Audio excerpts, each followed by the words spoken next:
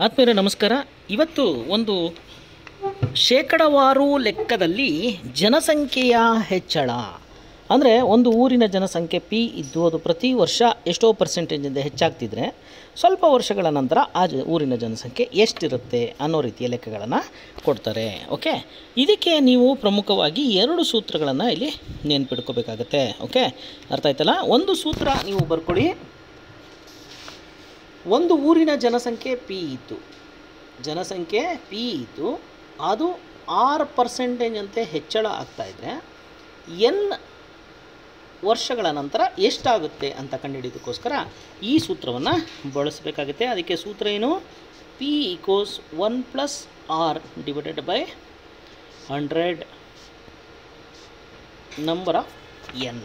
Okay, ಈ ಸೂತ್ರವನ್ನು ನಾವು ಬಳಸ್ತೀವಿ. ಅಂದರೆ ಒಂದು ಜೂರಿನ ಜನಸಂಖ್ಯೆ ಪಿ ಇತ್ತು ಅದು ಪ್ರತಿ ವರ್ಷ ಎಷ್ಟು ಆರು ಪರ್ಸೆಂಟೇಜ್ನಂಗೆ ಹೆಚ್ಚಳ ಆಗ್ತಾ ಇದ್ರೆ ಓಕೆ ಶೇಕಡ ಹೆಚ್ಚಳ ಆಗ್ತಾ ಇದ್ರೆ, ಅಂದರೆ R divided by hundred N ವರ್ಷಗಳಲ್ಲಿ ಎಷ್ಟು ಆಗುತ್ತೆ ಅನ್ನೋಂಥದ್ದನ್ನು ನಾನು ಕಂಡುಹಿಡಿಯೋದಕ್ಕೆ.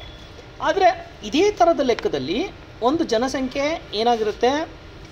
ಪಿ ಇರುತ್ತೆ ಜನಸಂಖ್ಯೆ. ವಾರ್ಷಿಕ ಹೆಚ್ಚಳ ಆರು ಪರ್ಸೆಂಟೇಜಲ್ಲಿ ಹೆಚ್ಚಾಗುತ್ತೆ ಮೂರು ವರ್ಷಗಳ ನಂತರ ಅಥವಾ ಕೆಲವು ವರ್ಷಗಳ ನಂತರ ಹೆಚ್ಚು ಎಷ್ಟು ಹೆಚ್ಚಾಗುತ್ತೆ ಅನ್ನೋದಕ್ಕೆ ಸೇಮ್ ಇದೇ ಸೂತ್ರನ ನಾವು ಬಳಸ್ತೀವಿ. ಸೇಮ್ ಇದೇ ಸೂತ್ರವನ್ನು ನೀವು ಇಲ್ಲಿ ಬಳಸಬೇಕಾಗತ್ತೆ. ಓಕೆ ಪ್ಲಸ್ ಮಾಡಿಕೊಂಡ್ರೆ. ಓಕೆ ಆದರೆ ಜನಸಂಖ್ಯೆ, ಹಿಂದಿನ ಜನಸಂಖ್ಯೆಗೆ ಇದನ್ನು ಬಳಸ್ತೀವಿ. ಆದರೆ ಮುಂದಿನ ಜನಸಂಖ್ಯೆಗೆ ನೀವು ಏನು ಮಾಡಿಸ್ತೀರಿ? ನೋಡಿ. P equals one plus R divided by hundred debt ಇನ್ ನೋಡಿ, ಇದು ಈಗಿನ ಜನಸಂಖ್ಯೆಗೆ ಓಕೆ ಈಗಿನ, ಅಂದರೆ ನಂತರದ ಜನಸಂಖ್ಯೆಗೆ. ಇದು ನಂತರದ ಜನಸಂಖ್ಯೆಗೆ. ಓಕೆ ನೆಕ್ಸ್ಟ್ ಹಿಂದಿನ ಜನಸಂಖ್ಯೆಗೆ ಬರಬೇಕಂದ್ರೆ ಈ ಪಿ ಇರೋದು ಇಲ್ಲೋಗುತ್ತೆ ಅಷ್ಟೇ. ಓಕೆ ಈ ಪಿ ಇರೋದು ಇಲ್ಲೋಗುತ್ತೆ ಇದು ಹಿಂದಿನ. ಓಕೆ ಇನ್ನೊಂದು ಸರಿ ಹೇಳ್ತೀನಿ. ಮುಂದಿನ ಜನಸಂಖ್ಯೆ, ಮುಂದಿನ ವರ್ಷದ ಜನಸಂಖ್ಯೆ ಕಂಡುಹಿಡಿಯೋಕ್ಕೋಸ್ಕರ ನಾವು P one plus R divided by hundred ಈ ಸೂತ್ರವನ್ನು ಬಳಸ್ತೀವಿ. ಇದು ಮುಂದಿನ ಜನಸಂಖ್ಯೆ. ಹಿಂದಿನ ಜನಸಂಖ್ಯೆಯನ್ನು ಕಂಡುಹಿಡಿಯೋಕ್ಕೆ ಈ ಪಿ ಇರುತ್ತು, ನಿಮಗೆ ಅಂಶದಲ್ಲಿ ಹೋಗುತ್ತೆ. ಈ one plus R divided by N ಇದ್ದಿದ್ದು ಹೀಗೆ ಬರುತ್ತೆ. ಇದು ಸೂತ್ರ ನಿಮಗೆ ಲೆಕ್ಕ ಮಾಡ್ಕೊಳ್ಳಿ ಒಂದು ಲೆಕ್ಕ ಮಾಡೋಣ, ಒಂದು ಲೆಕ್ಕ ಮಾಡಿದ್ರೆ ನಿಮಗೆ ಅದು ಅರ್ಥ ಆಗುತ್ತೆ. ಯಾಕೆಂದರೆ ಪಿ ಎ ಪರೀಕ್ಷೆಗಳಲ್ಲಿ ಶೇಕಡಾವಾರು ಪರ್ಸೆಂಟೇಜಲ್ಲಿ ಈ ರೀತಿಯ ಲೆಕ್ಕಗಳನ್ನು ಕೇಳಿದ್ದಾರೆ. ಯಾಕೆಂದರೆ ನಿಮಗೆ ಬೇಸಿಕ್ ಅರ್ಥಮೆಟಿಕ್ ಅಂತ ಹೇಳಿದ್ರು ಎಂ ಟಿ ಎಸ್ಸು ಪೋಸ್ಟ್ಮೇನು ಮತ್ತು ಪಿ ಎ ಪರೀಕ್ಷೆಗೆ ಪ್ರಶ್ನೆಗಳಲ್ಲಿ ವ್ಯತ್ಯಾಸಗಳಿರುತ್ತೆ. ಪಿ ಎ ಪರೀಕ್ಷೆಗಳಲ್ಲಿ ಮತ್ತು ಪೋಸ್ಟ್ಮ್ಯಾನ್ ಪರೀಕ್ಷೆಗಳಲ್ಲೂ ಕೂಡ ಈ ರೀತಿಯ ಪ್ರಶ್ನೆಗಳು ಬರ್ತವೆ. ಓಕೆ ಒಂದು ಲೆಕ್ಕ ನೋಡೋಣ? ಎಸ್ ಪ್ಲೀಸ್ ಟೇಕ್ ಇಟ್ ಈಗಿನ ಜನಸಂಖ್ಯೆ ಹದಿನಾಲ್ಕು ಸಾವಿರ ಇದು. ಜನಸಂಖ್ಯೆ ಎಷ್ಟಿದೆ? ಹದಿನಾಲ್ಕು ಸಾವಿರದ ಎಂಟುನೂರು ಇದ್ದು ವಾರ್ಷಿಕ ಸಿಕ್ಸ್ ಪರ್ಸೆಂಟ್ ಹೆಚ್ಚಳವಾದರೆ ಮೂರು ವರ್ಷಗಳ ನಂತರ ಜನಸಂಖ್ಯೆ ಎಷ್ಟು? ಅರ್ಥ ಆಯ್ತಲ್ಲ ಪ್ರಶ್ನೆ? ಪ್ರಶ್ನೆ ಅರ್ಥ ಆಯ್ತಾ? ಈಗಿನ ಜನಸಂಖ್ಯೆ ಎಷ್ಟಿದೆ? ಹದಿನಾಲ್ಕು ಸಾವಿರದ ಎಂಟುನೂರು ಜನಸಂಖ್ಯೆ ಇದೆ. ವಾರ್ಷಿಕ ಸಿಕ್ಸ್ ಪರ್ಸೆಂಟ್ ಹೆಚ್ಚಳ ಆದರೆ ಮೂರು ವರ್ಷಗಳ ನಂತರ ಜನಸಂಖ್ಯೆ ಎಷ್ಟಿರುತ್ತೆ ಅಂತ ನಾವು ಕಂಡುಹಿಡಿಬೇಕು. ನಾಲ್ಕು ಆಪ್ಷನ್ ಕೊಟ್ಟಿರ್ತಾರೆ. ಆ ನಾಲ್ಕು ಆಪ್ಷನಲ್ಲಿ ಒಂದು ಆಪ್ಷನ್ನ ನೀವು ಟಿಕ್ ಮಾಡಬೇಕಾಗತ್ತೆ. ಇಲ್ಲಿ ಜನಸಂಖ್ಯೆ ಅಂದ್ರೇನು ಪಿ ಪಾಪ್ಯುಲೇಷನ್ ಏನಿದೆ? ಹದಿನಾಲ್ಕು ಸಾವಿರದ ಎಂಟುನೂರು ಇದೆ. ರೇಟ್ ಆಫ್ ಇಂಟ್ರೆಸ್ಟ್ ಏನಿದೆ? ಆರು ಪರ್ಸೆಂಟ್ ಇದೆ. ಇಯರ್ ಎಷ್ಟಿದೆ? ಮೂರು ವರ್ಷಗಳ ನಂತರ ಇದೆ. ಅಂದರೆ ಎನ್ ಅಂದರೆ ಎನ್ ಆಫ್ ದಿ ಇಯರ್ ಅಂತ ನಾವು ಕರಿತೀವಿ. ಈಗ ಸೂತ್ರ ಇದಕ್ಕೆ ಯಾವುದನ್ನು ಬಳಸಬೇಕು? ನೋಟ್ ಮಾಡ್ಕೊಳ್ಳಿ. ಮುಂದಿನ ಜನಸಂಖ್ಯೆಗೆ ಸೂತ್ರ one plus R divided by hundred hundred N ಈ ಸೂತ್ರವನ್ನು ನೀವು ಬಳಸಬೇಕು. ಈ ಸೂತ್ರದ ಪ್ರಕಾರ ಹಾಕ್ಕೊಂಡ್ರೆ ನೀವು ಹದಿನಾಲ್ಕು ಸಾವಿರದ ಎಂಟುನೂರ ಆಯಿತು. ಒನ್ ಪ್ಲಸ್ ಆರು ಡಿವೈಡೆಡ್ ಬೈ ಹಂಡ್ರೆಡ್ ಎನ್ನು. ನೋಡಿ, ಭಿನ್ನರಾಶಿ ದಶಮಾಂಶವನ್ನು ನೀವು ಸರಿಯಾಗಿ ನೋಡಿಕೊಂಡಿದ್ರೆ ಮಾತ್ರ ಇದನ್ನು ಲೆಕ್ಕಗಳನ್ನು ಬಿಡಿಸೋದಕ್ಕೆ ಸಾಧ್ಯ. ಸಿಕ್ಕಾಬಟ್ಟೆ ನಂಬರ್ಗಳು ಬರುತ್ತೆ, ಗುಣಿಸೋದಕ್ಕೆ ಎಲ್ಲ ಇರುತ್ತೆ ಓಕೆ ಇದನ್ನು ನೋಟ್ ಮಾಡಿಕೊಂಡ್ರಲ್ಲ? ಈಗ ಮುಂದಿನ ಸ್ಟೆಪ್ಪು ಏನು ಮಾಡಬೇಕು ಅಂದರೆ ಓಕೆ ಈ ಹದಿನಾಲ್ಕು ಸಾವಿರದ ಕಾನ್ಸ್ಟೆಂಟ್ ಆಗಿರಲಿ, ಈ one by six divided by hundred ಇತ್ತಲ್ಲ, ಅದನ್ನು ಏನು ಮಾಡಬೇಕು? One plus divided by hundred ಇತ್ತಲ್ಲ ಇದನ್ನು ಏನಾಗುತ್ತೆ? ನೂರು ಓರೆ ಗುಣಕ ನೂರು ಇಂಟು ನೂರು ಪ್ಲಸ್ ಆರು ಡಿವೈಡೆಡ್ ಬೈ ಹಂಡ್ರೆಡ್. ಓಕೆ? ಇದು ಕ್ಯೂಬ್ ಆಗುತ್ತೆ. ಎಷ್ಟು? ಅದು ವರ್ಷ ಅಲ್ವಾ? ಮೂರು ವರ್ಷ. ಹದಿನಾಲ್ಕು ಸಾವಿರದ ಎಂಟುನೂರು ಹಂಗೆ ಎತ್ಕೊಳ್ಳಿ. ಇದನ್ನು ನಾವು ಬರೆದ್ರೆ ನೂರು ಪ್ಲಸ್ ಆರು ನೂರಾರು ಇಂಟು ನೂರು. ಕ್ಯೂಬ್ ಇದೆಯಲ್ವಾ? ಮೂರು ಸತಿ ಬರ್ಕೋಬೇಕು. ನೂರ ಆರು ಪ್ಲಸ್ ನೂರು ಪ್ಲಸ್ ನೂರ ಆರು ಪ್ಲಸ್ ನೂರು. ನೋಡಿ, ಇಲ್ಲಿ ಸರಳವಾ, ಸರಳೀಕರಣ ಮಾಡೋದಕ್ಕೋಸ್ಕರ ನಾವು ಏನು ಮಾಡಬೇಕು? ಇದರಿಂದ ಇದನ್ನು ಬಾಗಿಸಿದ್ರೆ ಭಾಗಾಕಾರದಲ್ಲಿ ದಶಮಾಂಶದಲ್ಲಿಟ್ಟರೆ ನೋಡಿ, ಈ ಎರಡು ಪಾಯಿಂಟ್ ಇದೆಯಲ್ವಾ? ಈ ಎರಡು ಪಾಯಿಂಟ್ ಪಟ್ಟು ಇಲ್ಲಿ ಚುಕ್ಕಿ ಇಟ್ಟರೆ ಇದರಿಂದ ಇದು ಭಾಗ ಆಗುತ್ತಂತ. ದಶಮಾಂಶ ಆದಂಗೆ ಆಯಿತು. ಓಕೆ ಅರ್ಥ ಆಯ್ತಲ್ಲ? ಈ ಎರಡು ಚುಕ್ಕಿ ಬದಲು ಇಲ್ಲಿ ಎರಡು ಅಂಕಿ ಬಿಟ್ಟು ಚುಕ್ಕಿ ಇಟ್ಟರೆ ಆಯಿತು. ಅದು ಭಾಗ ಆಗುತ್ತೆ ಆದ್ದರಿಂದ ಇದರಿಂದ ಭಾಗ ಆಗುತ್ತಂತ. ಆ ಪ್ರಕಾರವಾಗಿ ನಮಗೆ ಇಲ್ಲಿ ಹದಿನಾಲ್ಕು ಸಾವಿರದ ಎಂಟುನೂರು ಬಂತು. Into one point zero six. ನೂರಾರಲ್ವಾ? ಎರಡು ಅಂಕಿ ಬಿಟ್ಟಿಟ್ಟಿದ್ವಿ. ಕ್ಯೂಬ್ ರೂಟ್ ಇತ್ತು. ಈಗ ಇದನ್ನು ಕಾನ್ಸ್ಟೆಂಟಾಗಿ ಇಟ್ಕೊಳ್ಳಿ. ಈಗ ಒನ್ ಪಾಯಿಂಟ್ ಸಿಕ್ಸ್ ಇಂಟು ತ್ರೀನ ನಾವು ಯಾವ ರೀತಿ ಸರಳೀಕರಣ ಮಾಡ್ಕೋಬೇಕು ಅನ್ನೋದು ತುಂಬ ಇಂಪಾರ್ಟೆಂಟು ಭಾಗಾಕಾರ ಪ್ರಕ್ರಿಯೆ ಇಲ್ಲಿ ತುಂಬ ಮುಖ್ಯವಾಗುತ್ತೆ. ಮೂರು ಮೂರು ಗುಣಿಸೋಕ್ಕಾಗಲ್ಲ. One point zero six into one point zero ಸಿಕ್ಸ್ನ ಭಾಗ ಮಾಡ್ಕೊಳ್ಳಿ. ಆವಾಗ ನಿಮಗೆ ಆರಾರ್ಲಿ ಮೂವತ್ತಾರಕ್ಕೆ ಆರು ದಶಕ ಮೂರು. ಇಲ್ಲಿ ಸೊನ್ನೆ ಇರೋದ್ರಿಂದ ಮೂವತ್ತಾರು, ಆರೊಂದ್ಲಿ ಆರು. ಸೊನ್ನೆ ಇರೋದರಿಂದ ಒಂದು ಸ್ಥಾನ ಬಿಟ್ಟು ಸೊನ್ನೆಗಳನ್ನು ಹಾಕೊಳ್ಳಿ. ಒಂದಿರೋದ್ರಿಂದ ನೂರ ಆರು ನೂರ ಆರಾಯಿತು. ಆರು, ಮೂರು, ಆರಾರಲಿ ಹನ್ನೆರಡಕ್ಕೆ ಎರಡು, ದಶಕ ಒಂದು. ಸೊನ್ನೆ ಇರೋದರಿಂದ ಹನ್ನೆರಡು, ಒಂದು. ಇಷ್ಟು ಬಂತು. ಇಲ್ಲಿ ಎಷ್ಟು ಅಂಕಿದೆ ಇದೆ? ಇಲ್ಲಿ ಎರಡು ಅಂಕಿದೆ ಇಲ್ಲಿ ಎರಡು ಅಂಕಿ ಬಿಟ್ಟು ಚುಕ್ಕಿ ಇದೆ. ಇಲ್ಲೂ ಅಷ್ಟೇ ಎರಡು ಅಂಕಿ ಎರಡು ಅಂಕಿ ಬಿಟ್ಟು ಚುಕ್ಕಿ ಹಾಕ್ಕೊಂಡ್ರೆ ಮುಗೀತು. One into one two three six. ಈಗೇನು ಮಾಡಬೇಕು? ಕ್ಯೂಬ್ ರೂಟ್ ಅಲ್ವಾ ಕೇಳಿರೋದು? ಮೂರನೇ ಪಟ್ಟು ಒನ್ ಪಾಯಿಂಟ್ ಜೀರೋ ಸಿಕ್ಸ್ನ ಮಾಡ್ಕೋಬೇಕು. ಓಕೆ ಒನ್ ಪಾಯಿಂಟ್ ಜೀರೋ ಸಿಕ್ಸ್ನ ಮಾಡಿಕೊಂಡ್ರೆ ನಿಮ್ಗೆ ಎಷ್ಟು ಬರುತ್ತೆ?